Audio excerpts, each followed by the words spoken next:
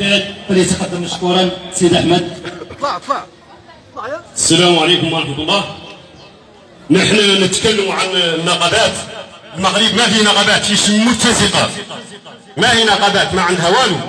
من العصابات. كل عصا كل مادة قامت تاع عصابة. تعدل فيها اللي بغي المواطن اليوم حضور المواطن اليوم ما خلق بها هذه الناس. ملت منها الناس. وملت من كذايبها وملت من مسرحياتها كل نقابة قابلتها عصابة. اسكت.